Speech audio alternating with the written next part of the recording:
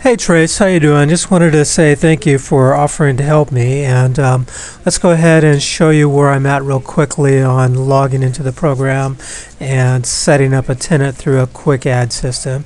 So let's double click the icon to open up the application.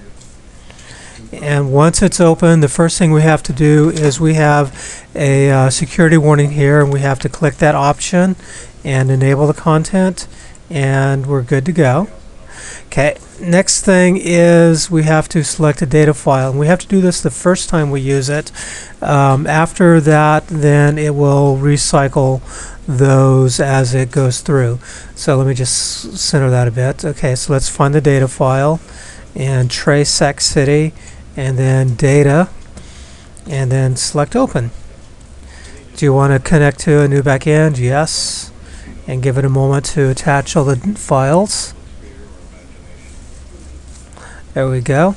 We can enter the program. I've preloaded the um, password, so we don't have to worry about that at the moment. Got a splash screen, and then enter the program. Okay, so here we are. Here's my application. And um, to what I said was we're going to set up a new tenant real quickly. So let's just do a quick add. And um, here's the form. We want to add a tenant. So let's go ahead and say tenant and that's going to bring up the units. So that way we can select a unit 127 river.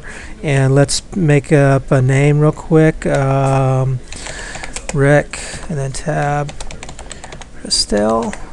Okay so if we put in the first name last name it will automatically put in an application name which must be unique. You can't use the same name for two people. If you have, you can put a number after it or something different so that way it's always the same. But this is a unique name within the system and this is what's tracked. And then it also generated a group name for it, which is the address and then the first name, last name. And it took the address from up here when you selected the unit. So that automatically generated as well. Once everything is on these forms the way you like it, you can select Quick Add and that will set up the base tables behind the scenes so you don't have to worry about that. And then it opens up the uh, next set of screens as well, or menus, which is we can set up a tenancy if we want. We can clear it and enter a new one, or we can just close the form. So let's set up a tenancy by clicking that, and it automatically brings over the group name it brings over the address or the unit that the uh, tenant is in. Um, and it also shows you down here the app name was Rick Prestel and so carried that over as well. And this is where the tenants would be if you have more than one tenant. So anyways, what we need to do is set an initial rent for the tenant, and let's say 625 a month. And we could, um, that's all we need to do at the moment. So that's done. So now that he's in, we can go ahead and uh, charge an initial rent for by, here let me move that out of the way, clicking on tenant charge. And then, so let's select the tenant, that was Rick Prestel. And let's say that he moved in on the 15th of the month. And so because of that, we want to charge him a prorated rental amount. So let's say 300. I'm just making up numbers here. Now you'll notice that it also generated a note for you for that way on your invoice or your check stubs. It's already got the note there so you don't have to write that out by hand. You know, there's no reason to write the same thing every time. So this is December 09. It's a rent and it's from this tenant, so it takes care of that. If everything is there the way you like it, then you can just create an invoice. If you want to change anything, you can uh, change it uh, by typing over it, so it's not a problem assuming it's where you want it. We want to create an invoice by clicking the create invoice button and done. And if you wanted to visually verify that everything worked out right, you can double click that and open that up just as a double check, but there's no need to. And the rent's 300, the invoice date's there, and the group, uh, the tenancy group is there as well. So that's all set up. Okay, so let's close that.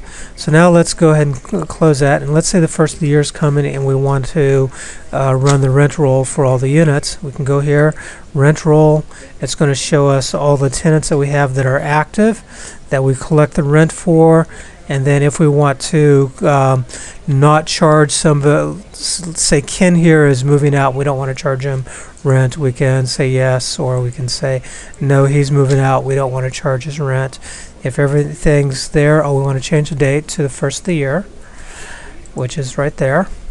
And that will automatically update the notes here as well if you notice, so that way you don't have to type those. So everything's where you want it, say yes, and then we can just run the rent roll. Complete, and there it is. It will automatically show you the uh, invoices that were done. So here's all the invoices that were done for that, and no problem.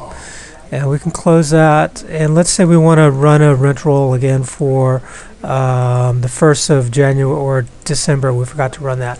So just click that, put in the date, it sets up the date, and um, then we're good there and run the rent roll again. And what that's going to do is pull up the rents that were run on that date. Now, th- um, what it is is it open this up as a filter. If you wanted to see all the invoices that were run, you can just go here and reset the filter, and that'll show you all the rents that were charged for that period. So, anyways, that's a quick overview, and I'll talk to you later. Take care. Bye bye.